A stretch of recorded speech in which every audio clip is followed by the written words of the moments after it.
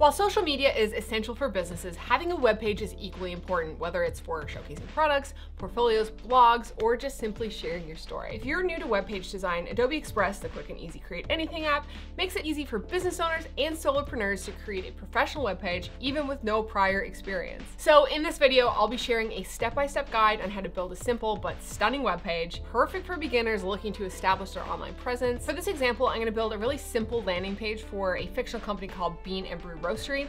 And this web page's purpose is to just share their story. The first thing we're gonna do is come over to the left up here to the plus icon. We're gonna hit that and we're gonna come down to web page. We can either start from scratch or we can pick a template. And I like using a template, especially if we are new to design. It makes the process a lot less overwhelming. Adobe Express kind of gives us a curated list of uh, templates that kind of work with the purpose of your web page. We can preview these web pages before we start. And over here in the left window, we can kind of scroll down and have a look and just see what that looks like. We'll have a look at community newsletter. This might work because this is photo and text heavy. We're gonna wanna go with this one because we're sharing story here. Normally I would recommend bringing in your own custom photos of your business. But for this example, we're just gonna use stock images because I don't have a roastery. So all we had to do really is go in and replace the images and replace the text and we can add slideshows and we can add other elements. And I'm gonna show you how to do that. But the first thing we're gonna do is work on what people are going to see in the beginning. So if I click on the background image, we can replace the image, delete the image,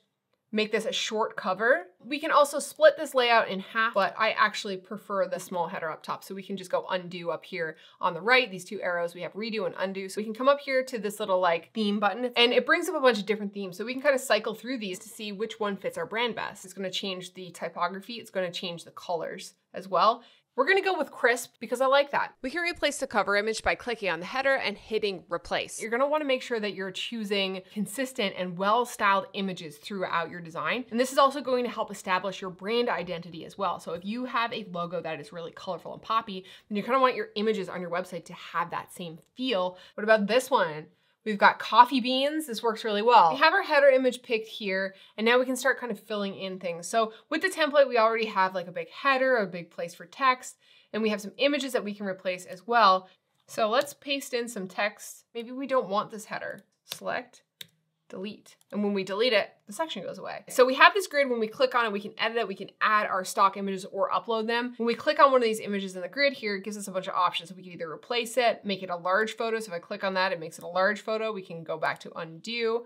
We can get rid of it. We can move it over one or move it back one. I'm just gonna start filling these images in with some of these stock photos. So if I come here and hit replace, I can kind of pick this image and that replaces that image with this nice latte photo. Now we have like a collection of images here in our grids. Down here, this is a really good opportunity for us to add like a little bit more text. So we can edit the text by, it's basically just like a text editor. You select it, paste in what you want. I'm gonna take this our roots and make this a title. So we'll delete the date.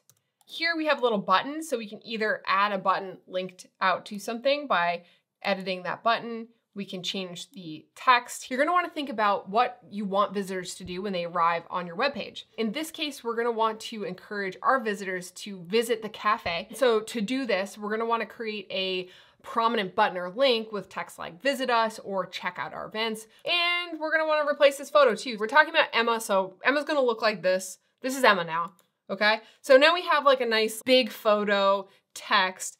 What if we want to add in something. So if we click the plus button, a box comes up, we can add photos, text, a button, a GIF video, but let's look at Glide Show, for example. So if we add a glide show. We can add a couple of background images. So let's pick this one here. That's a nice kind of cool one. And then let's pick this bean one. So as you can see, it made full size images in the background. And as we scroll, they kind of have this zooming in effect. It gives us a box to add content. So if we click here, we can either add photo, text, button, GIF, video, or our stuff. This is where you can access other designs that you've made in Adobe Express. So let's paste some of our text in here and we can change the formatting by selecting the text and we can change the heading style and that's based off of the template style.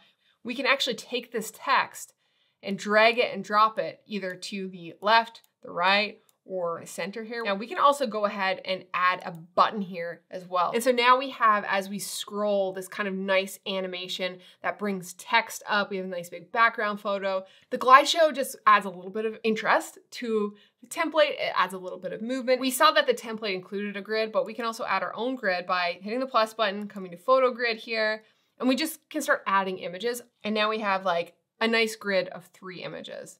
Okay, so say if we added our button here and we actually wanted this to be between the glide show and the grid, we can do that by clicking on the piece of content, clicking move, and then hitting the arrows to change the position of them. We got this template here, maybe we're done, but there's a bunch of other stuff in here that we don't want anymore. We can easily delete sections. We're going to click on it. We can hit delete. Yes, I want all three photos to be deleted. And now that section is gone. Once we're done, we can preview that as it would look um, on the web. So we hit this eyeball icon. If we don't like anything, we can go back and edit. If we wanna share this, we can come up to the right and click on share, publish to web, and then we can create a link.